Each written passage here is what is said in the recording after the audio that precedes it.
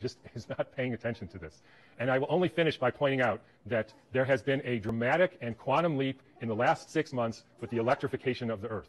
And I'm sure a lot of you know what that is. It's called 5G, where they now have 20,000 radiation emitting satellites, just like the radiation emitting thing in your pocket and on your wrist and that you use all the time. That is not compatible with health. I'm sorry to say it, it's not compatible with health. That is a water destructuring device. And for any of you who say, yeah, well, we're not electrical beings, we're just physical matter, then don't bother doing an EKG or an EEG or a nerve conduction test because we are electrical beings and the chemicals are only the byproduct of those electrical impulses. And I'll finish with anybody want to make one guess as to where the first completely blanketed 5G city in the world was. Exactly. So when you start thinking about this, we are in an existential crisis here.